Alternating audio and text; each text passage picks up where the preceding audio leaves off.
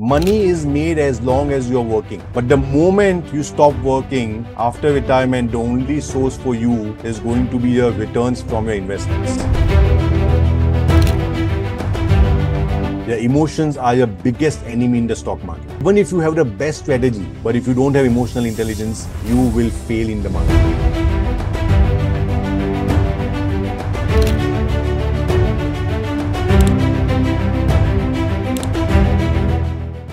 I got to learn from Neerav the correct way to control my emotions in trading.